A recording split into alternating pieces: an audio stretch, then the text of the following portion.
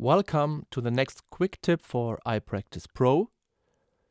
Did you know that you can use the pad section if you just want to have a metronome without any additional drones, chords or progressions? To do this, you can simply tap the play button without selecting a note beforehand or you can tap the metronome button right away. This makes sense if you later want to make adjustments to the metronome. Tap the play button to start the metronome in the metronome settings. You can change the tempo, click probability, the time signature and many other things. It's a good idea to watch the separate metronome tutorial if you are not familiar with some of the possibilities here. It's your choice if the metronome should click on a specific beat or not.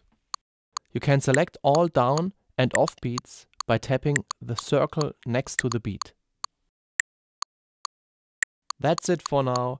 I hope you enjoyed the video. Happy practicing with iPractice Pro.